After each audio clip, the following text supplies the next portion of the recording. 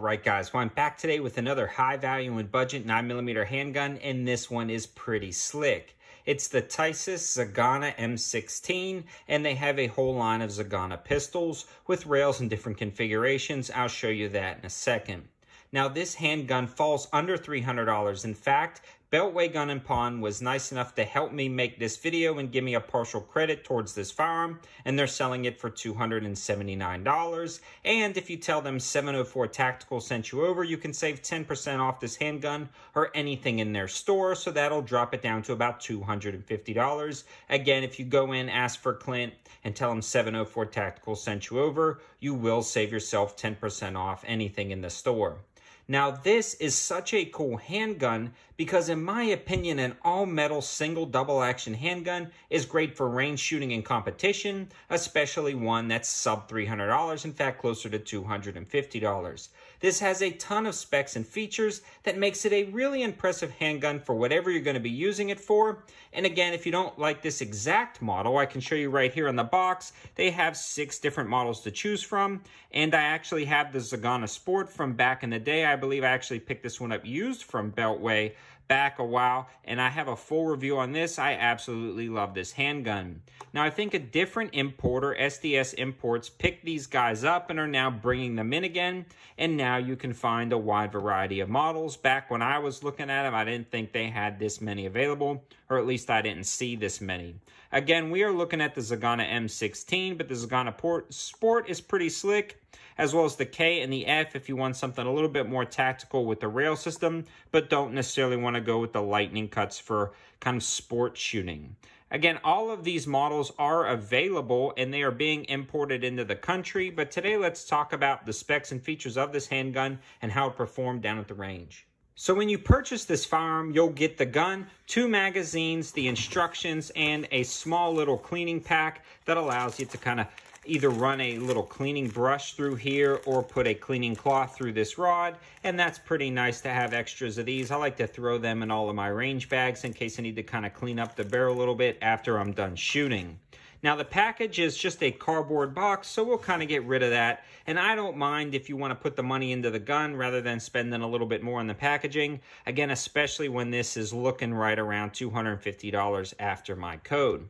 Now, right off the bat, I want to go from the back to the front and talk about those specs and features. And the first thing you'll notice is that this is a double action, single action gun with a safety on the slide. Now, the safety on the slide, in my opinion, is, is not my favorite. I like to see the safety a little bit easier to actuate with my thumb, and this one seems kind of backwards. One of my complaints about the guns.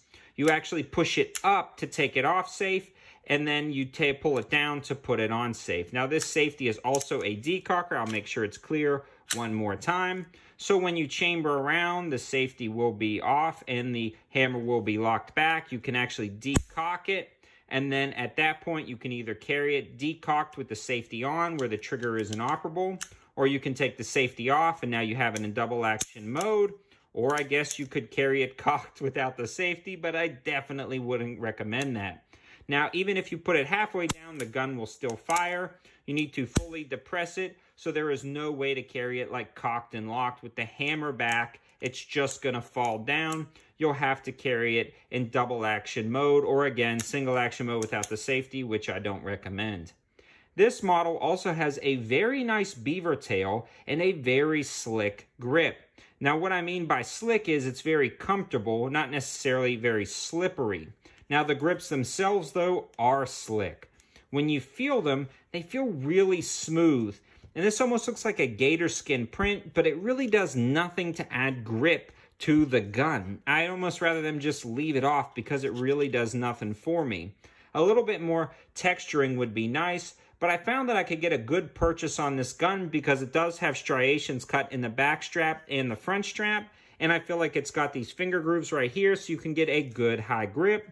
And it also has this slight undercut right here. So again, the beaver tail and the slight undercut allows you to get a good high grip on the gun and really mitigate that recoil. Still talking about the grip and ergonomics, the mags drop free, no problem whatsoever, and I like to see that in a more of a range style, combat style handgun. I don't want the uh, mags to be kind of bound up when they're coming out.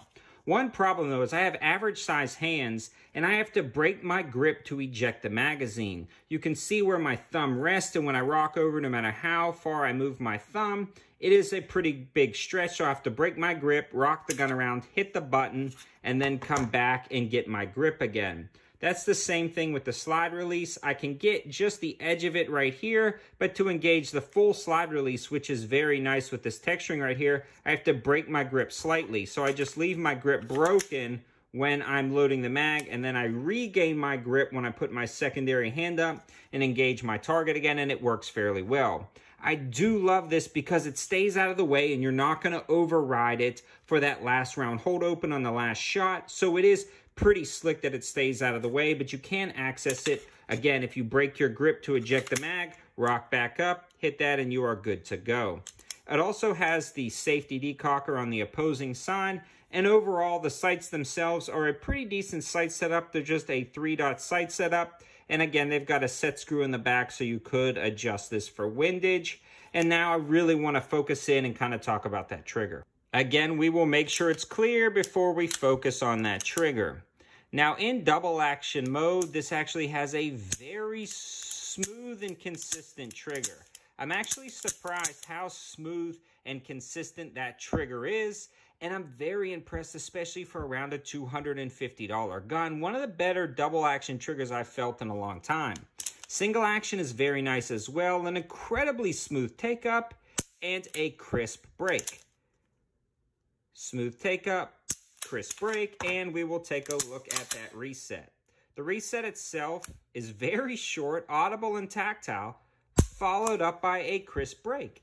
This, guys, has an impressive, amazing trigger for such a high value and budget gun, one of the strong points of this handgun. Now I want to talk about performance and reliability down at the range. Since this is an all metal frame gun, this has almost no recoil. I could absolutely rattle off shots as fast as I could pull the trigger, and the gun stayed incredibly flat, and it was very easy to manage the recoil. Combine that with a very crisp single action trigger, I could see this being a great competitive handgun or a great range use handgun, and it seemed to be very accurate for what it was.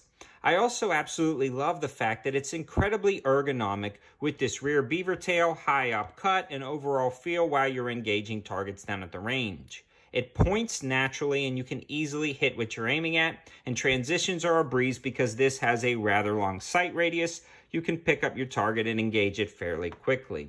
Now let's talk a little bit about reliability. And honestly, guys, I had a lot of aluminum and steel cased ammo I picked up from AIM Surplus these guys had a pretty good sale going on, and with ammo kind of being is what it is right now, it was nice to pick up some from them. And I ran a lot of aluminum and a lot of steel and some brass through this, and it was 100% functional. The ejection pattern was perfect, and I saw no blips and kind of weird ejection patterns after the first magazine. The first magazine ran great, but I could tell the ejection pattern was a little inconsistent. But after that, it smoothed up and put the brass, steel, and aluminum in a nice pow. Obviously, the brass shot out a little bit further because it was higher power, but it ran that low power junky steel and aluminum just fine. So that is pretty slick that this handgun will eat whatever you put in it. Again, very nice for a high value and budget pistol. So in summary, guys, for about $250, you can't go wrong for this model. Also, the Sport and K and F models are available with rail systems, which are pretty cool. This one's a little bit more compact, but I do love the longer sight radius of this M16 and overall simplified feel of this handgun.